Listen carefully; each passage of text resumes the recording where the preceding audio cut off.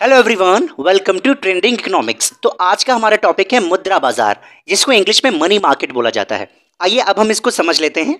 देखिए, मुद्रा बाज़ार वह बाज़ार है जहाँ पर वित्तीय उत्पादों और संपत्तियों, जैसे कि शेयर्स बॉन्ड्स इत्यादि की खरीद बेच की जाती है, सामान्यतः एक वर्ष की अवधि के लिए।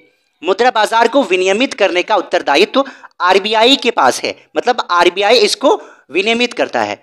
आरबीआई मुद्रा बाज़ार में तरलता लिक्विडिटी और मुद्रा की मात्रा को विनियमित करने के साथ साथ प्रमुख नीतिगत दरों, जैसे कि बैंक रेट रेपो रेट और रिवर्स रेपो रेट आदि को भी विनियमित या निर्धारित करता है।